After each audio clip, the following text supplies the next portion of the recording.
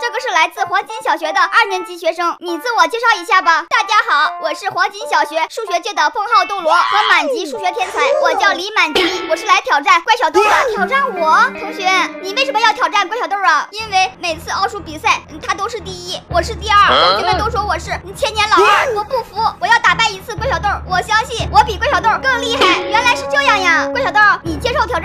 都打上门了，不接受也不行呀。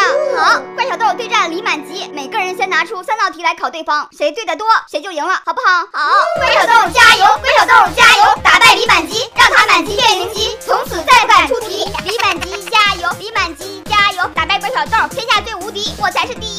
挑战者，你来出题吧。好，听好了，我出的是思维发散题，有六个鸡蛋，打碎了两个，煮了两个，吃了两个，还剩几个？你出这么简单的题，是想让着我吗？当然是，还剩四个了，打碎的、煮了的、吃了的，都是那两个鸡蛋，所以还剩四。个鸡蛋，好吧，正确。那我也出一个思维发散题。有一片草地，一头牛半年可以吃一半草地。问要把草地上的草全部都吃光，需要几年？你也是让着我的吗？这么简单，它永远不会把草吃光，因为草会不断生长。对了，问乐器商店新进了九把小提琴，一共花了三千六百元，售价合理的是 A 四百九十八元每把，B 四百元每把，C 四百九十八把美元。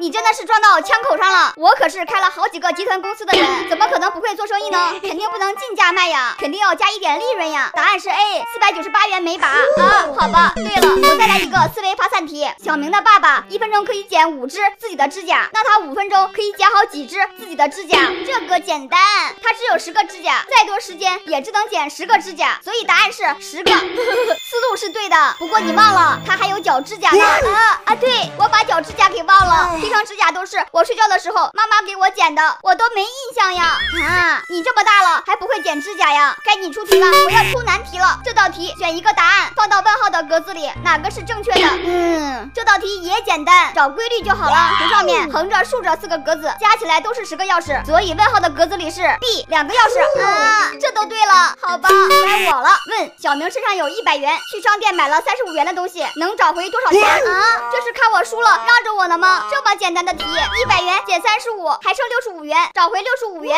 这道题最少要列四个算式哦，四个算式，你在逗我呢吗？这么简单的题，怎么需要四个算式呢？我想不出来，根本就没有四个算式。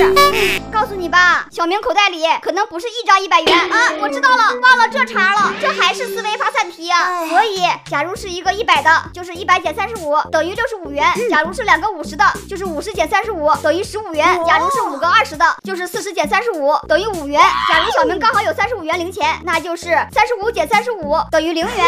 哎，我已经知道了，这些数学题一会儿是发散性思维，一会儿是标准答案，我都懵了。好了。比赛结果出来了，怪小豆题，李满级答对一道题。这次李满级挑战郭小豆失败，别灰心，欢迎下次再来挑战哟。没关系，待我闭关一个月，定能超你。不过听说你语文很差，下次来挑战你语文。啊，不要呀！最后考小伙伴们一道题：四什么加九什么等于一什么？